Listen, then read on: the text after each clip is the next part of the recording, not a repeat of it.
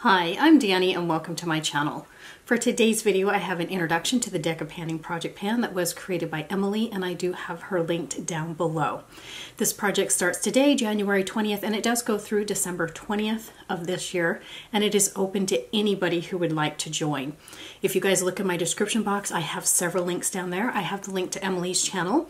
I also have a link to the booktuber named Maddi. She created a TBR game and uh, she was Emily's inspiration for creating this project.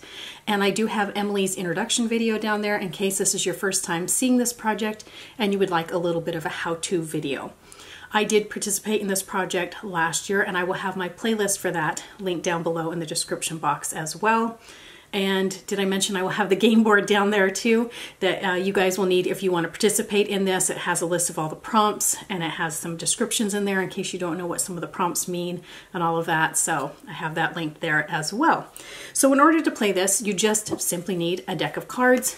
If you don't have a deck of cards, you can just use an app. I've seen people who randomize their cards off of apps. I'm sure if you just Google it, you can find something that uh, can help you uh, with that. So you need a deck of cards, you need one joker, not two, just one, and put that in your deck.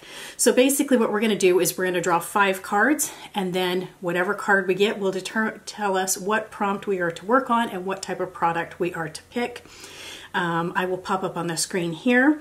Emily has made some changes here for the ace, jack, queen, and king. As you can see, the hearts and the diamonds now have separate prompts from the spades and the clubs. So um, that has been a change to add some more variety to the face cards for this project. And of course, the one joker is for Are You Joking? A product that you really don't want to work on. So I have my deck of cards. This is a brand new deck. Um, and so I have given it a couple of shuffles because new decks of cards do come in numerical order by suit. So I didn't uh, want my deck to all be in order before I started playing with it. So I have given a few shuffles. So I'm going to keep shuffling here while I pop the main game board up on the screen. So this part looks a lot like last year. Emily has the 2 through the 10 on here, all divided out by suit, and she does randomize each of these every month. So this game board does change every single month. So I can see on here there's a least expensive product, most recent purchase, an A to Z brand or an A to Z shade. If you get either of those, you can just go on Google and type in letter randomizer and you will find uh, a website or something that can help with that. So let me give this one more shuffle and then I will choose my five cards. I am nervous and excited all at the same time. So let's see what my first card's gonna be.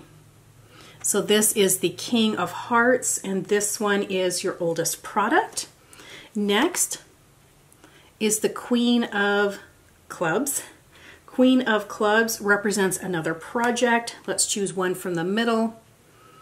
Let's see, I got the Four of Diamonds, and that is an SPF. Okay, let me shuffle it again. Okay, we'll choose from the middle again. Right here we have the Three of Clubs, which is a cream product. And then we'll do another one from the middle of the deck. Right here, we got the seven of spades, seven, seven of spades. I'm trying. and that one is a matte product. So let me choose those five products and I will be right back to show you what I'll be working on. All right, let's go ahead and start with the King of Hearts. This one was the oldest product in your collection.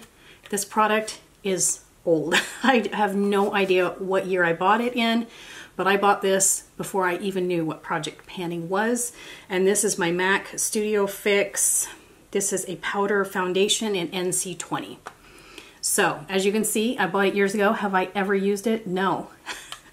I don't really know how to use powder foundations, why I got this. I don't know. I don't remember. I bought it years ago and I want to figure out how to use powder foundations. I think basically they're just like liquid. I think you put your concealer on first and then do this powder over the top. I don't know. I want to play around with this, get familiar with it so that I can actually use it because there's no sense in me having this in my collection for years and not touching it. So I'm going to put a 10 use goal on this just so I can get some use and try to figure out how in the world to use powder foundations. Next, I had the Queen of Spades. Uh, this one is represents another project pan, and for this, I chose the project Turn and Burn. I just did my inventory videos and some of these products that I have in my collection count as one full product and they're teeny tiny. So I wanted to roll this little sample in of the Sol de Janeiro Bum Bum Cream. Uh, it's just a little guy. How much product is in here? Quarter of an ounce or 7.5 mils. This is tiny. This will go quickly, but I want to get this out of my collection because this counts as one product in my inventory just as much as a huge bottle of my hemp lotions does. So I want to get my numbers down. So this one is for turn and burn. Next was the Four of Diamonds, and this was for an SPF, and I chose a product that has SPF in it. This is the L'Oreal Age Perfect Sunscreen um, Broad Spectrum SPF of 30. So uh, this is an item that I got for free from Influenster for review purposes. So I do have use in here. As you guys can see, I've used it many times uh, to be able to give my uh, proper review. But I'm going to put this in this project for a goal of 50 uses on this. Next was a three of clubs. This one is a cream product. So I just thought of the Partners in Cream and I chose something that I would roll into the Partners in Cream project. This is from Rare Beauty. It is a, a liquid highlighter in Mesmerize. That's why now that I'm filming this, I'm like, should I put this in for cream? But I thought of Partners in Cream and this was something that would go in there, so that's why I'm putting it in here. So this is, like I said, in the shade Mesmerize. I will give you guys a swatch of this. It's a very pretty highlighter. This is it right here. I'm not quite sure if I'd use it as a cream highlighter. Actually, you know what? I may mix this with my foundations. Um, although blending that out, that is beautiful. So I'm going to put a goal of using half of this product up. If I go through it really quickly, like if I decide to mix it with foundations and whatnot, and it goes really fast, then I will amend the goal to finish it completely. But for right now, I want to use half of this up. And then for the seven of spades, this one is a matte product. So for that, again, I saw another product that I had um, in my collection that was also a duplicate, and this is a smaller. This is the IT Cosmetics Bye Bye Pores Pressed Powder. Let's see. As you can see, it is brand new, never used, so my goal for this is to try to finish this up. This has 2.4 grams, it says, or 0.0 0.08 ounces. I always go by the grams even though I'm from the United States because keeping track of these hundredths of ounces is just, grams is so much easier. So I want to try to use this up. Like I said, it is brand new, never been used. So those are my goals. I think I will have a couple empties. Obviously, if I, I can't use this up in a month, uh, there's something wrong, but I should definitely be able to use that up.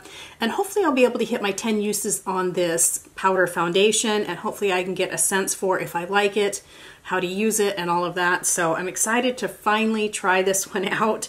I've been neglecting it and every time I do my inventories I pull it out and I keep saying yep I have the same powder foundation here's it here it is again six months later and a year later so we're to work on this, see if I can find a way to make it work, and then maybe I'll pan this whole thing this year. Who knows? So I don't think I'll have any other goals met, but that is my whole update. Uh, Emily is going to put together a playlist of people doing this, and I will put that link in my description box um, so that you guys can go and check out everybody else who's doing this project as well, and be sure to follow the hashtag, which is hashtag deck of panning. That is everything that I have for you guys. If you haven't, I hope that you please subscribe to my channel before you go, and while you're down there, ring that bell so you're notified every time I upload a new video. Thank you so much for stopping by.